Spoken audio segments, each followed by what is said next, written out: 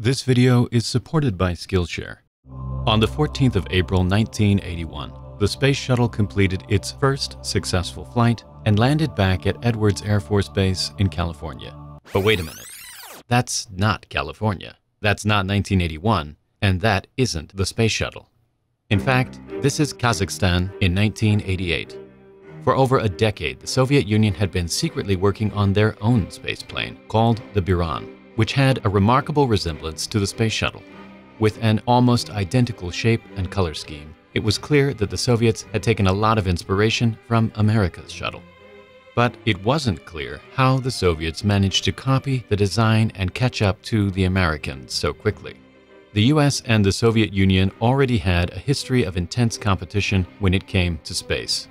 The Soviets took the record for launching the first satellite into orbit, and then America managed to beat them to the moon. But they also had periods of healthy cooperation.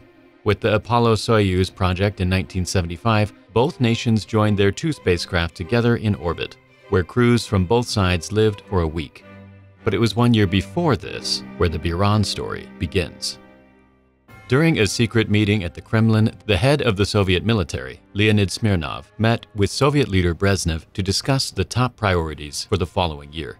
This meeting was like any other, a simple catch-up to keep the Soviet leader up to date on things. But at the end of the meeting, Smirnov alerted Brezhnev that the Americans were working on a winged space vehicle, which would be a strong threat to the Soviet Union.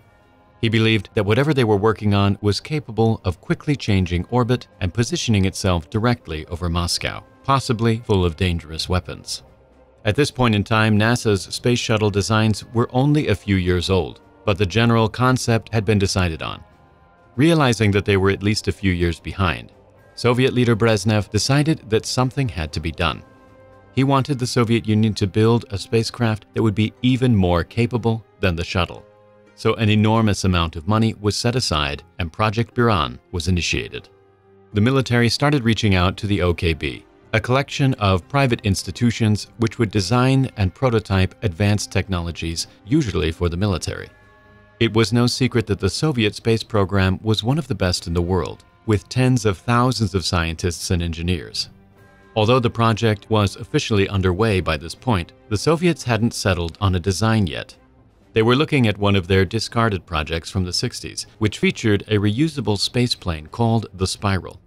After briefly bringing the project back to life, it was quickly canceled again by the military, as they knew it wasn't as advanced as what the Americans were doing. And so the Soviets realized that they needed to know more about the vehicle they were trying to beat. Surprisingly, the shuttle program wasn't classified, so every design and research paper was essentially available to the public. The problem for the Soviets was the sheer amount of data and finding a way to organize it. But this wasn't the first time the Soviets set out to gather technical data. In the 60s, they successfully spied on the British and French Concorde manufacturers to produce their own version of the supersonic jetliner known as the Tu-144. But one of the main advantages in this case of espionage was the recent invention of the Internet. Although it was very basic at the time, NASA was storing many of its critical documents in online databases. And so, in order to obtain these documents and funnel the data back to the Soviet engineers, they called upon the service of the KGB. Overseeing the majority of this espionage project was a spy named Vladimir Vertrov. He began working with the KGB at an early age while living in France and eventually worked his way up to being one of the highest ranking members. He was the perfect man for the job. The Soviets knew exactly what they needed. They were looking for information regarding the shuttle's airframe, flight computers, materials, and the propulsion system. Back at the Soviet Chamber of Commerce in Moscow, they had their own advanced computer center. With this, the Soviets were able to tap into America's online information services and see the names and numbers of shuttle-related documents. With this information, a KGB agent would simply leave the Soviet embassy in Washington and make their way to the government printing office on North Capitol Street. They would tell the government worker the name and number of the document they needed, pay the printing fee, and then take the documents back to the embassy. At this point, the Soviets probably had a party every time they came back with an important document. But all the important technical information still had to be sent back to the Soviet engineers without the US knowing about it. The first step was getting it out of America.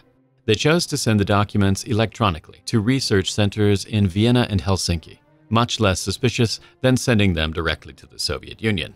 From there, KGB workers would forward the documents to Moscow, where a room full of printers would be working around the clock, constantly producing the goods.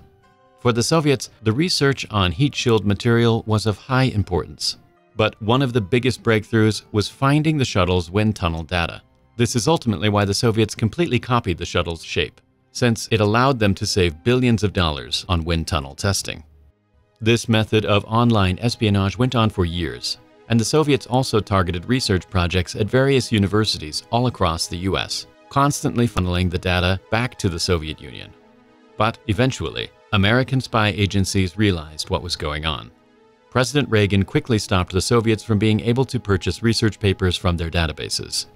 After realizing how much important data they had already given away, they hatched a plan to sabotage the design of the Soviets' space shuttle. The CIA began creating flawed shuttle design documents and fed them to the Soviets, disguising them as new and improved designs. Two years after the first space shuttle launch, the extent of Vertrov's spying was finally uncovered. The KGB started to suspect something wasn't right when they found a letter he had sent to his family. In the letter, he bragged about the importance of his job and claimed that he was involved in something really big. But he was doing a lot more than just stealing space shuttle designs. In the early 80s, he began stealing other secret documents and supplying them to the French intelligence service. The French president alerted Ronald Reagan of what was going on, and the Soviets quickly found out that Vertrov was working as a double agent. The KGB brought him back to Moscow and executed him. By the time the American space shuttle first launched in 1981, the KGB had acquired over 3,000 documents relating to the computer systems and wind tunnel tests. Over a series of years, the Soviets spent almost a million dollars in today's money, tracking down and obtaining these important documents. There's no doubt that this saved them billions of dollars and years of development, but sadly, the Buran never went on to create history like the space shuttle did. Despite being more capable than the shuttle in many ways, the Buran project was completely abandoned after the fall of the Soviet Union in 1991. The original Buran, which performed the only test flight, was destroyed when the hangar it was in collapsed. The only remaining two prototypes are sitting in a hangar in Baikonur.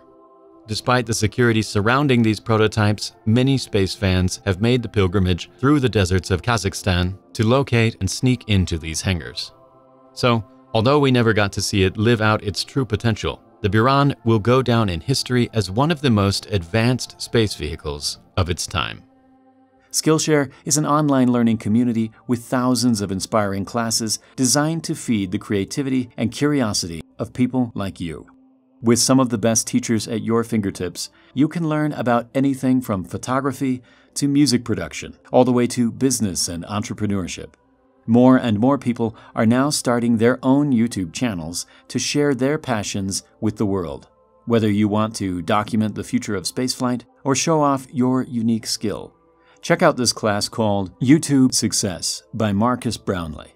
With years of experience, Marcus takes you from the process of content creation all the way to strategies on growing your channel. With thousands of classes available on Skillshare, pick the one that's right for you and start learning. Skillshare has no ads, and there are always new premium classes being launched. The first 1,000 people to sign up using the link below will get a one month free trial of Skillshare Premium. If you'd like to support the channel even more, consider becoming a patron, where you can give your input on each video and get exclusive access to our Discord server. Thank you very much for watching, and I'll see you in the next video.